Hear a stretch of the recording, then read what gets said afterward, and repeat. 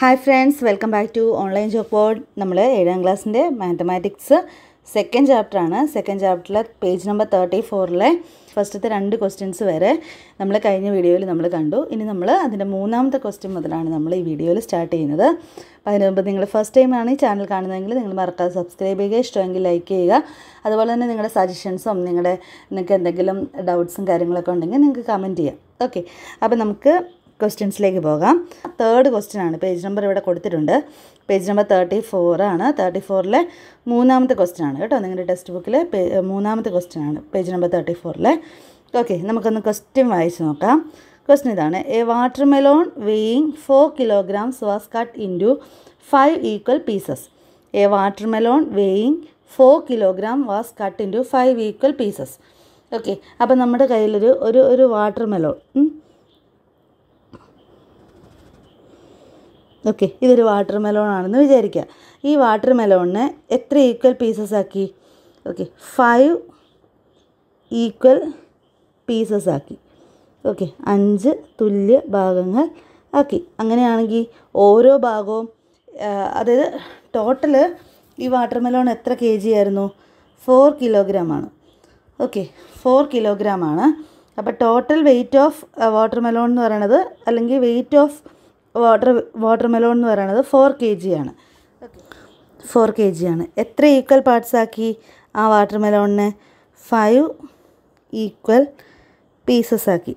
അല്ലേ? Five equal pieces ആക്കി. അങ്ങനെയാണെങ്കിൽ പറയാവോ? What's weight of weight of each piece അഞ്ച് പീസുകളാക്കിയതിനകത്ത് ഓരോ പീസിന്റെയും വെയിറ്റ് എത്രയാണെന്ന് നമ്മളെങ്ങനെ കണ്ടുപിടിക്കും? ടോട്ടൽ ഫോർ കെ ജി ആണ്. അതിനെ എത്ര ഈക്വൽ പാർട്സുകളാക്കി ഫൈവ് ഈക്വൽ പാർട്സ് ആക്കി. അങ്ങനെ വരുമ്പോൾ ഓരോന്നും four by five K G ആണ് വരുന്നത്. ആണല്ലോ? ഓരോ വെയിറ്റ് ഓഫ് ഈച്ച് പീസ് എന്ന് പറഞ്ഞാൽ four by five K G ആണ്. പക്ഷേ നമ്മൾ ക്വസ്റ്റ്യൻ ശ്രദ്ധിക്കണം. ക്വസ്റ്റ്യൻ പറഞ്ഞിരിക്കുന്ന വെയിറ്റ് ഓഫ് ഈച്ച് പീസ് കണ്ടുപിടിക്കാനാണോ? നോക്കിയേ. One piece was again halved okay അപ്പം നമ്മൾ ഈ ഒരു പീസിന്റെ വെയിറ്റ് വരെ നമ്മൾ കണ്ടുപിടിച്ച് വെച്ചു. ഓക്കെ അതായത് നമ്മുടെ വാട്ടർ മെലോണ്ട് ഓക്കെ നമുക്ക് വാട്ടർ മെലോണ്ട് ഈ ഫൈവ് പീസസും കൂടെ നമുക്ക് ജസ്റ്റ് ഒന്ന് വരച്ച് നോക്കാം. ഏകദേശം വാട്ടർ മെലോൺ കട്ട് ചെയ്ത് കഴിയുമ്പോൾ ഇങ്ങനെയാണ് കിട്ടുന്നത് അല്ലേ? അപ്പം നമുക്ക് ഇങ്ങനെ ഒന്ന് ആക്കി നോക്കാം. ത്രീ ഫോർ ഫൈവ് ഓക്കെ ഇതാണ് അഞ്ച് പീസ് വാട്ടർ മെലോൺ എന്ന് വിചാരിക്കുക. അകത്തിങ്ങനെ റെഡ് കളറാണ് അല്ലേ? ഓക്കെ ഇത് വാട്ടർ മെലോണാണ് കേട്ടോ. ഓക്കെ അപ്പോൾ നമ്മുടെ വാട്ടർ മെലോണിന്റെ അഞ്ച് പീസുകളാക്കി ഈ നാല് കിലോ വാട്ടർ മെലോണിനെ വാട്ടർ മെലോണിനെ മുറിച്ചു. അങ്ങനെ വന്നപ്പം നമ്മൾ പറഞ്ഞു ഇതിന്റെ ഓരോന്നും എത്ര കെ ജി വീതം വരും? Four by five K G ആയിരിക്കും ഓരോ പീസിന്റെയും വെയിറ്റ് എന്ന് പറയണത്. അല്ലേ? Four by five K G ആയിരിക്കും. കാരണം ടോട്ടലുള്ള ഫോർ കിലോഗ്രാമിന് ഫൈവ് ഈക്വൽ പീസസ് ആകുമ്പോൾ അതിന്റെ ഫ്രാക്ഷൻ ആ വെയിറ്റ് എന്ന് പറഞ്ഞാൽ four by five K G ആണ് വരുന്നത്. ആണല്ലോ? ഓക്കെ ഇനി അടുത്ത് ക്വസ്റ്റിന്റെ ബാക്കിയുണ്ട്. One piece was again halved എന്താ വെച്ചാൽ അതിന്റെ അർത്ഥം എന്താ? ആ അതായത് നമ്മുടെ കയ്യിലുള്ള ഒരു പീസ് നമ്മളിങ്ങനെ എടുത്തു. ഓക്കെ അതായത് ഇതായിരുന്നു നമ്മൾ ഒരു പീസ് നമ്മളിങ്ങനെ എടുത്തു. ഈ പീസിന്റെ വെയിറ്റ് എത്രയാണ്? Four by five K G ആണ്. അല്ലേ? ഇതിനെ എന്ത് ചെയ്തു? ഇതിനെ ഈ പീസിനെ എന്ത് ചെയ്തു? പിന്നെയും ഹാഫ് ഹാഫ്ഡ് എന്ന് പറഞ്ഞ് ഹാഫ് ഹാഫ് ആക്കി. ഓക്കെ അപ്പോൾ ഹാഫ് ആക്കി കഴിഞ്ഞിട്ട് ക്വസ്റ്റ്യൻ നോക്കിയേ. What is the weight of each of these two pieces in kilogram what is the weight of each of these two pieces in kilogram okay okay അപ്പോൾ ഇതിനെ വീണ്ടും ഇതിന്റെ പകുതിയാക്കി. അതായത് നമ്മുടെ ഈ കയ്യിലുള്ള വാട്ടർ മെലോണിനെ പകുതിയാക്കി. അപ്പം നമ്മൾ എത്രയാണെന്ന് അറിയാനായിട്ട് എന്ത് ചെയ്യണം? ആ അപ്പം ഇതിന്റെ അകത്ത് ഒരു പീസിന്റെ ഒരു പീസിന്റെ ഇപ്പം നമുക്ക് ഈ ഒരു പീസിന്റെ വെയിറ്റ് എത്രയാണെന്ന് അറിയാനായിട്ട് എന്ത് ചെയ്താൽ മതി? ആ half of four by five K G കണ്ടുപിടിച്ചാൽ മതിയല്ലോ. ഫോർ ബൈ ഫൈവ് കെ ജിയുടെ ഹാഫ് ആയിരിക്കുമല്ലോ ഈ ഒരു ഒരു ഒരെണ്ണം എന്ന് പറയണത്. അതുപോലെ തന്നെ അടുത്തതും അത് തന്നെ ആയിരിക്കുമല്ലോ. അപ്പോൾ half of four by five K G എങ്ങനെ കണ്ടുപിടിക്കുന്നത് നമ്മൾ? One by two into four by five is equal to എന്ത് വരും? One into four four divided by two into five ten എന്ന് വരും. അപ്പോൾ four by ten K G ആണ് weight അപ്പം നമ്മൾ ഹാഫ് ആക്കി കഴിഞ്ഞ് കഴിയുമ്പം ഉള്ള weight of each piece okay each piece എന്ന് പറയുന്നത് എത്ര വരും? Four by ten K G ആണ്. ഇനി നമുക്കിതിനെ കെ ജിയിൽ മാത്രം പോരാ. എന്തിലേക്കും കൂടെ ആക്കണം? ഗ്രാമിലേക്കും കൂടെ ആക്കണം. നമ്മൾ നേരത്തെ കണ്ടതാണ് കിലോഗ്രാമിനെ ഗ്രാം ആക്കണമെങ്കിൽ തൗസൻഡ് വെച്ച് മൾട്ടിപ്ലൈ ചെയ്യണം. ആണല്ലോ? അപ്പം നമുക്ക് ഇൻ ഗ്രാംസ് ഗ്രാംസിൽ എഴുതണമെങ്കിൽ എന്ത് വരും? എങ്ങനെ എഴുതണം? ഗ്രാമിലാകണമെങ്കിൽ അതായത് നമ്മുടെ കയ്യിലുള്ളത് four by ten K G ആണ്. അല്ലേ? ഫോർ ബൈ ടെൻ കെ ജീനെ ഗ്രാം ആക്കണമെങ്കിൽ എന്ത് ചെയ്യണം? Four by ten into thousand thousand കൊണ്ട് ഗുണിക്കണം. അപ്പോൾ തൗസൻഡ് കൊണ്ട് ഗുണിക്കാൻ നമ്മൾ ഈ സീറോയും സീറോയുടെ കട്ടാക്കാം is equal to four into hundred four hundred gram എന്ന് കിട്ടും. ഓക്കെ. എന്ന് വെച്ചെന്നാൽ നമ്മുടെ ക്വസ്റ്റ്യൻ മനസ്സിലായായിരുന്നല്ലോ അല്ലേ? അതായത് ഒന്നാമത്തെ കാര്യം എന്ന് പറഞ്ഞു കഴിഞ്ഞാൽ ആദ്യം കുറച്ച് കാര്യങ്ങളാണ് പറഞ്ഞിരുന്നത്. വാട്ടർ മെലോണിന് ഫോർ കെ ജി ഉള്ള വാട്ടർ മെലോണാണ് ഈ വാട്ടർ മെലോണിനെ ഫൈവ് ഈക്വൽ പീസസ് ആക്കി. അങ്ങനെ ഫൈവ് ഈക്വൽ പീസസ് ആക്കുമ്പോൾ തന്നെ ഓരോന്നിന്റെയും weight four by five K G ആയിരിക്കും.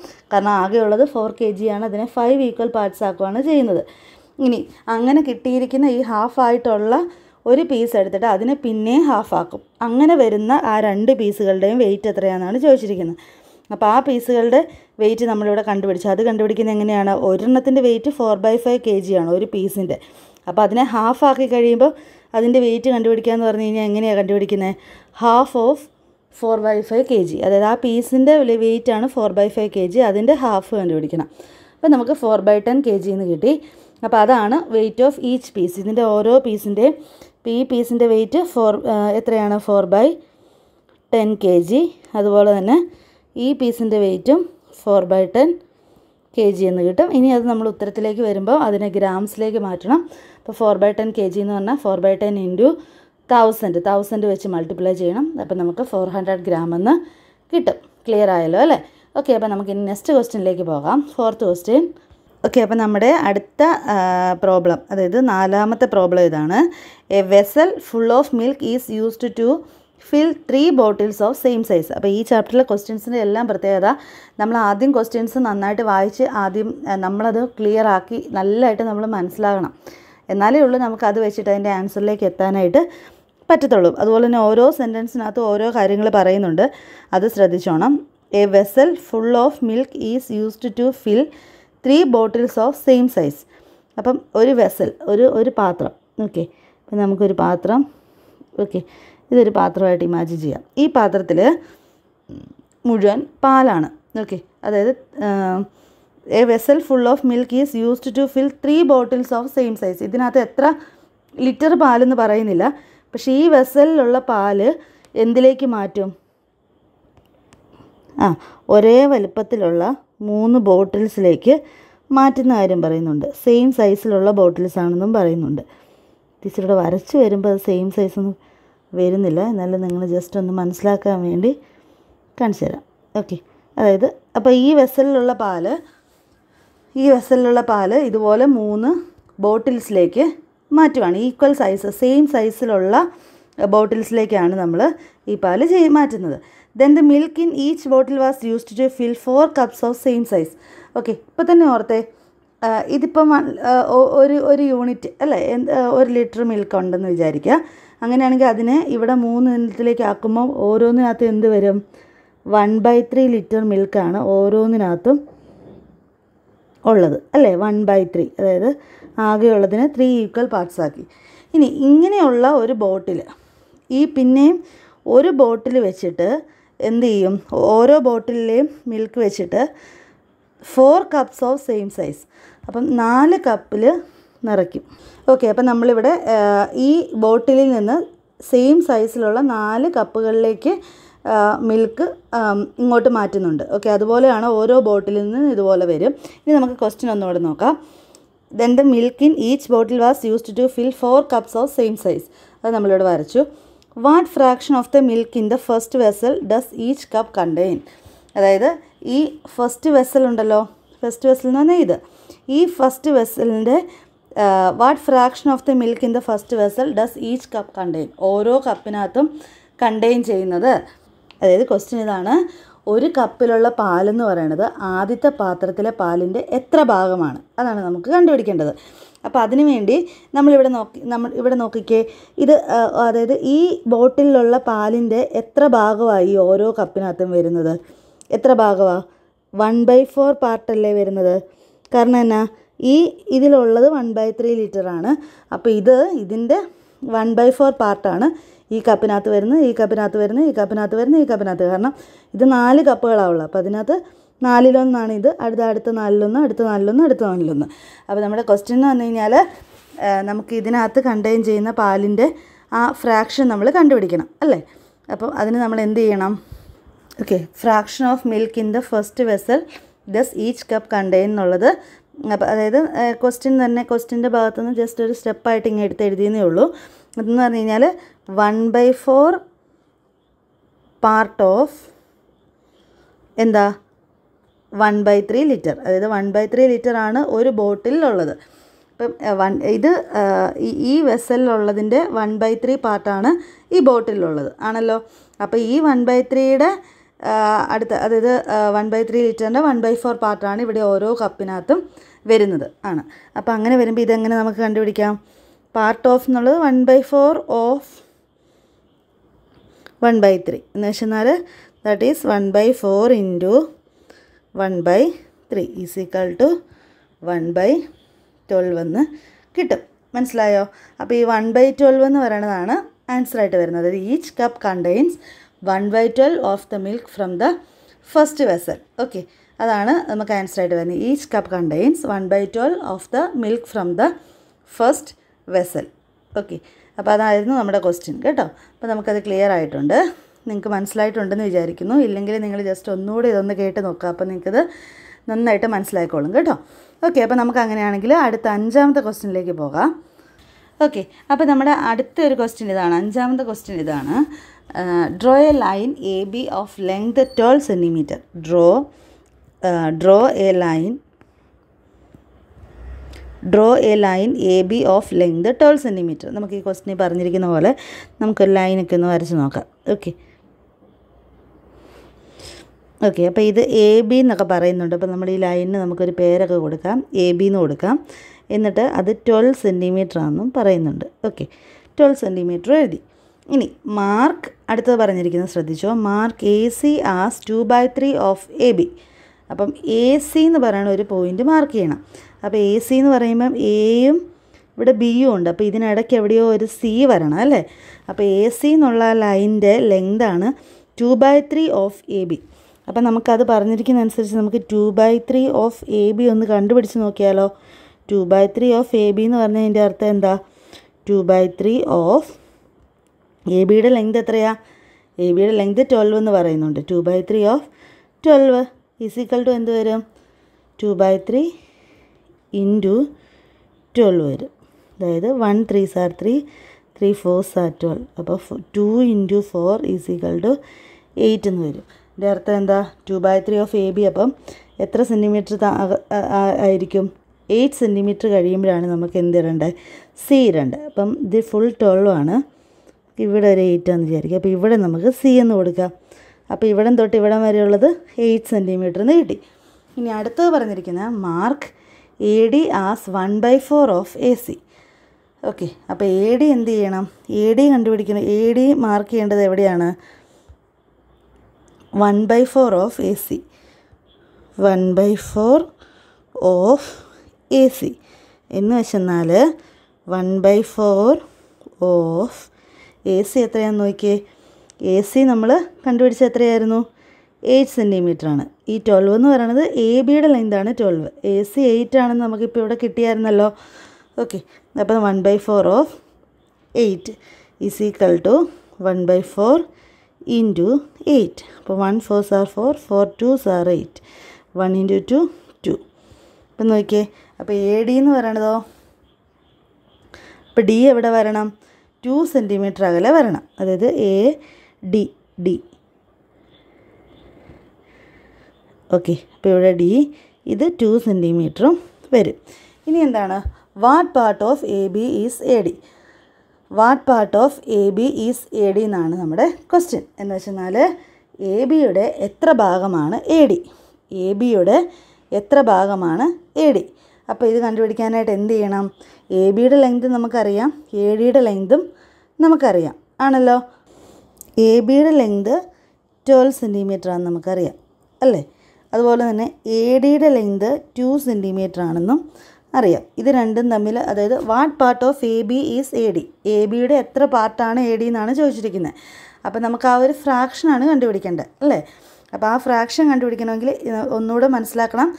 എ ബിയുടെ എത്ര ഭാഗമാണ് എ ഡി എന്നാണ് ചോദിച്ചിരിക്കുന്നത്. അപ്പം നമ്മൾ ഫ്രാക്ഷനായിട്ട് എഴുതുമ്പോൾ എ ബിയുടെ എത്ര ഭാഗമാണ് എ ഡി എന്നാണ് അപ്പോൾ A D by A B എന്നിടാം A B ആണ് ഫുൾ ലൈൻ എന്ന് പറയുന്നത് അതിന്റെ ഒരു ഭാഗം മാത്രമാണ് എ ഡി അപ്പോൾ അതുകൊണ്ടാണ് നമ്മൾ എ ഡി മുകളിലും എ ബി താഴെയും എഴുതിയിരിക്കുന്നത്. ഇനി എ ഡിയുടെ ലെങ്ത് എത്രയാ? ടു എ ബിയുടെ ലെങ്ത് എത്രയാ? Twelve is equal to one two sir two two six are twelve അപ്പം വൺ ബൈ സിക്സ് എന്ന് ആൻസർ കിട്ടും. അതായത് എ ബിയുടെ what fraction of the sorry what part of A B is A D A ബിയുടെ one by six പാർട്ടാണ് A D എന്ന് കിട്ടും. നമുക്കൊന്ന് ചെക്ക് ചെയ്ത് നോക്കിയാലോ? എ ബിയുടെ വൺ ബൈ സിക്സ് പാർട്ട് എത്രയാണെന്ന് നോക്കാം? One by six of A B എന്ന് പറഞ്ഞാൽ എത്ര കിട്ടും? One by six into A B എത്രയാ? Twelve. One six six six two sir twelve. അപ്പോൾ ടു എന്ന് കിട്ടും. അതായത് എ ബിയുടെ വൺ ബൈ സിക്സ് പാർട്ടാണ്. ഈ ടു സെന്റിമീറ്റർ ടു സെന്റിമീറ്റർ ആണല്ലോ എ ഡി എന്ന് പറയണത്. ഓക്കെ അപ്പോൾ അത് കറക്റ്റാണ് അല്ലേ? മനസ്സിലായല്ലോ അല്ലേ? അപ്പോൾ നോക്കി ഇവിടെ നമുക്ക് പറഞ്ഞിരുന്നത് അപ്പോൾ ഓരോ ഓരോ സെന്റൻസിലും ഓരോ കാര്യങ്ങൾ പറയുന്നുണ്ടായിരുന്നു. അപ്പോൾ അത് നമ്മൾ കംപ്ലീറ്റ് ആയിട്ട് മനസ്സിലാക്കി മനസ്സിലാക്കി വന്നാലേ ഉള്ളൂ. ഇതിന്റെ അവസാനത്തേക്ക് നമുക്ക് എത്താനായിട്ട് പറ്റുള്ളൂ. അപ്പോൾ ഫസ്റ്റ് നമ്മൾ ഒരു ലൈൻ വരച്ചു. ലൈൻ ലെങ്ത് ട്വൽവ് സെന്റിമീറ്റർ ആയിരുന്നു. അതിനുശേഷം എ സി മാർക്ക് ചെയ്യാൻ പറഞ്ഞു. അപ്പോൾ two by three of A B എടുത്തിട്ട് വേണം എ സി മാർക്ക് ചെയ്യാൻ. അപ്പോൾ two by three of A B നമ്മൾ എടുത്തപ്പം നമുക്കിവിടെ എയ്റ്റ് എന്ന് കിട്ടി. അപ്പോൾ നമ്മൾ നിന്ന് എയ്റ്റ് സെന്റിമീറ്റർ മാറി സി മാർക്ക് ചെയ്തു. ഇനി അടുത്തത് പറഞ്ഞത് എ ഡി എ ഡി എന്ന് പറയുന്നത് one by four of A C ആണ്. അപ്പോൾ എ സിയുടെ ലെങ്ത് എയ്റ്റ് ആണ്. അപ്പോൾ one by four of A C എന്ന് പറയുമ്പോൾ one by four into eight ചെയ്ത്. അപ്പോൾ ടു കിട്ടി. അപ്പോൾ നമ്മൾ ടു സെന്റിമീറ്റർ മാറി ഡി കൊടുത്തു. ഇത്രയും കിട്ടിക്കഴിഞ്ഞപ്പോൾ നമ്മുടെ ക്വസ്റ്റ്യൻ എന്ന് വന്നു കഴിഞ്ഞാൽ പിന്നെ നമ്മൾ ലാസ്റ്റ് നോക്കേണ്ടത് ക്വസ്റ്റ്യൻ എന്താണെന്നാണ്? ക്വസ്റ്റ്യൻ ആണ് what part of A B is A D അപ്പം എ ബിയുടെ എത്ര പാർട്ടാണ് എ ഡി എന്ന് വെച്ചെന്നാൽ ആ ഫ്രാക്ഷൻ കണ്ടുപിടിക്കുന്ന എ ഡിയുടെ ലെങ്ത് ഡിവൈഡഡ് ബൈ എ ബിയുടെ ലെങ്ത് ചെയ്താൽ മതി. അപ്പോൾ എ ഡിയുടെ ലെങ്ത് എന്ന് പറഞ്ഞാൽ ടു ആണ്. എ ബിയുടെ ലെങ്ത് എന്ന് പറഞ്ഞാൽ ട്വൽവ് ആണ്. ഇത് ചെയ്യുമ്പോൾ വൺ ബൈ സിക്സ് പാർട്ടെന്ന് കിട്ടും. വൺ ബൈ സിക്സ് പാർട്ടാണ് എ ബിയുടെ വൺ ബൈ സിക്സ് പാർട്ടാണ് എ ഡി എന്ന് നമുക്ക് ഇതിനോട് ആൻസർ കിട്ടും. ഓക്കെ ഓക്കെ അപ്പോൾ നമ്മുടെ അവസാനത്തെ ആറാമത്തെ പ്രോബ്ലമാണ് അപ്പോൾ ആറാമത്തെ പ്രോബ്ലത്തിന് നാല് പാർട്ടുകളുണ്ട് നമുക്ക് ഓരോന്നിന്റെ ആയിട്ട് ആൻസർ അങ്ങ് കണ്ടുപിടിക്കാം. നമ്മളിപ്പോൾ പഠിച്ചു കഴിഞ്ഞതാണ് നമുക്ക് സിമ്പിളാണ്.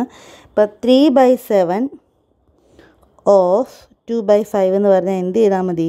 ഇതിന് ആൻസർ കണ്ടുപിടിക്കാനായിട്ട് ഇതിന്റെ അർത്ഥം എന്ന് പറഞ്ഞാൽ ഇതാണ് ടു ബൈ ഫൈവിന്റെ ത്രീ ബൈ സെവൻ പാർട്ട് എത്രയാണെന്നാണ് ചോദിച്ചിരിക്കുന്നത്? അപ്പോൾ അതിന് ആൻസർ കിട്ടാനായിട്ട് three by seven into two by five ചെയ്താൽ മതി.